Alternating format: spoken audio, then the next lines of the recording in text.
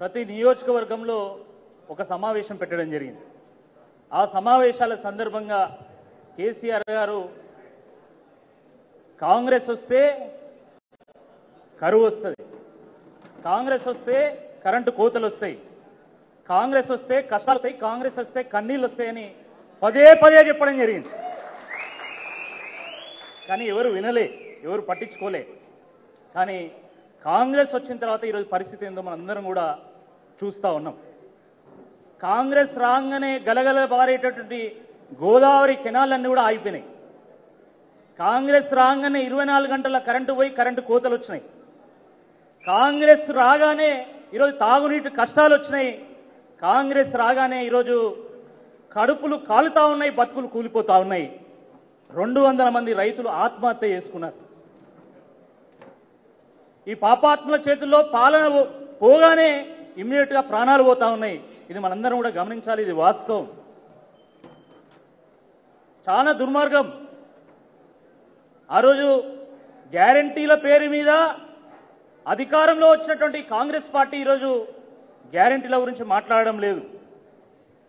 మాట ఇచ్చి మోసం చేయడంలో మాటలకు మెలకబెట్టి మోసం చేయడంలో చంద్రబాబు నాయుడు స్కూల్లో చదువుకున్నాడు ఈ రేవంత్ రెడ్డి పిహెచ్డి చదివిండి నా ఆ రోజు ఏం చెప్పిండు ఈ రోజు ఏం చెప్తున్నాడు? ఆ రోజు చెప్పినటువంటి రుణమాఫీ ఏమైంది? ఆ రోజు చెప్పినటువంటి రైతు భరోసా ఏమైంది? ఆ రోజు చెప్పినటువంటి మహాలక్ష్మి స్కీమ్ ఏమైంది? ఆ రోజు చెప్పినటువంటి విద్యార్థులకు ఐదు లక్షల రూపాయల హామీ ఏమైంది?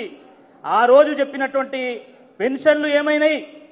వీటన్నిటిని కూడా మనం ప్రశ్నించాల్సినటువంటి అవసరం ఉంది. రేవంత్ రెడ్డి గారు మొన్న పాలమూరు సభలో మాట్లాడుతూ ఒక పేదోడు ముఖ్యమంత్రి అయితే ఈ టీఆర్ఎస్ వాళ్ళు ఓర్చుకుంటలేడంటాడు రేవంత్ రెడ్డి పేదోడా? రేవంత్ రెడ్డి పేదోడా? ఆయనే చెప్పిండు కదా మా నాయన పోలీస్ పటేలు మా తాత పోలీస్ పటేలు నాకు వందల ఎకరాల భూమి ఉన్నదని చెప్పి ఆయనే అన్నాడు. వందల ఎకరాల భూమి ఉన్నోడు ఎవడైనా పేదోడైతాడా? ఒక్కసారి ఆలోచించాలి.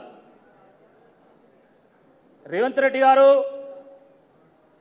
ఈరోజు అనేక రకాలుగా ప్రజలు ఇబ్బంది పడుతున్నారా కనీసం పట్టించుకోవడం లేదు. ఏ కాంగ్రెస్ పార్టీ నాయకుడు పట్టించుకోవడం లేదు. రైతుల ఆత్మహత్యలు జరుగుతున్నాయి పంటలు ఎండిపోతున్నాయి. ఈరోజు ఊర్లలో కాంటాలు పెడతలేరు. కాంటాలు పెడితే ఎవరు కనీసం కొనడం లేదు. కొన్నా పదహారు వందల రూపాయలు కొంటున్నారు క్వింటాల్ అంతేనా? పదహారు వందలు పదిహేడు వందలు. పదిహేడు వందలు కూడా వస్తలేవు చాలా చోట్ల.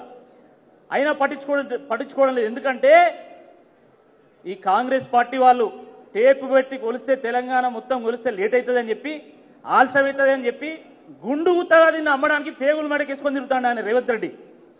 పాపం ఆయనకు లంక బిందెలు దొరకలేవు.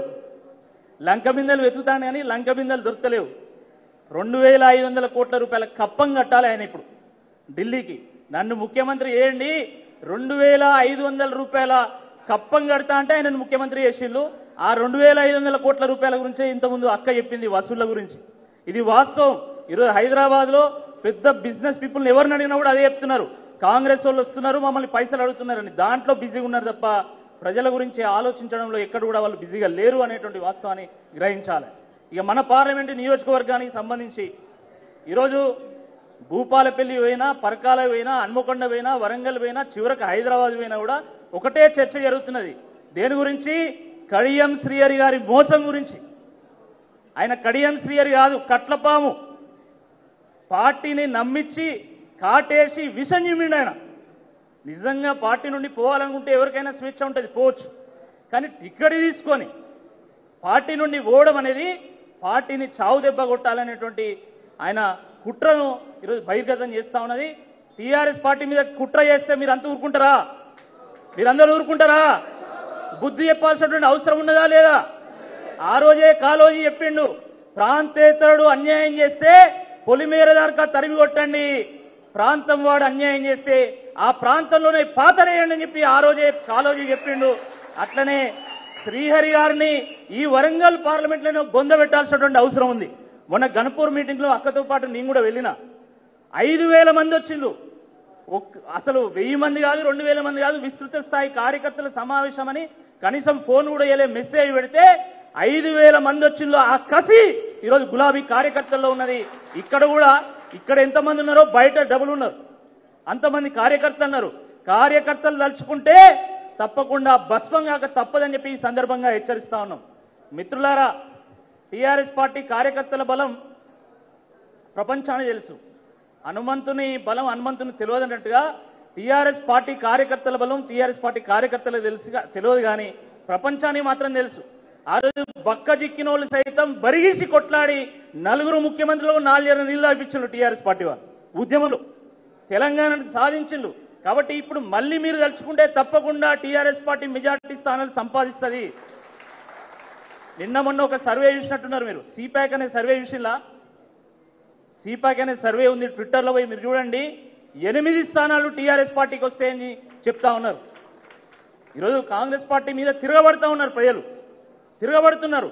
కాబట్టి దాన్ని మనందరం కూడా గ్రహించాల్సినటువంటి అవసరం ఉంది. తెలంగాణ సాధించిన పార్టీ టీఆర్ఎస్ పార్టీ.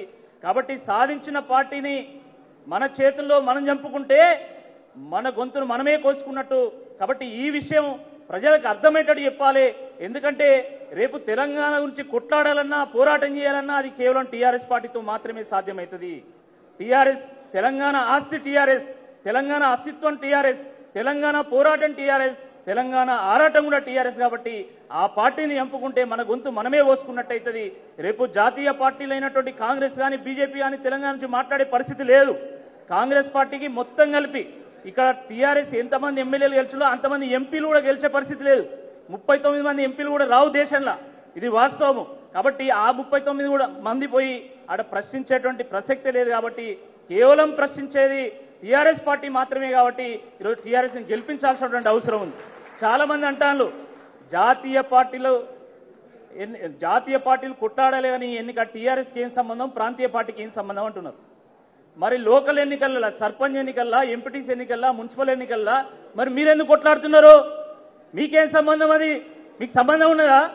మరి ప్రాంతీయ పార్టీ అంతే. ప్రాంతీయ పార్టీ జాతీయ స్థాయిలో ఎందుకు కొట్లాడుతుంది అంటే ప్రాంతీయ అవసరాల గురించి ప్రాంతీయ ప్రాంతీయ అవసరాల గురించి ప్రాంతీయ ఆస్పిరేషన్స్ గురించి మాట్లాడడానికి మరి టీఆర్ఎస్ కొట్లాడుతుంది కాబట్టి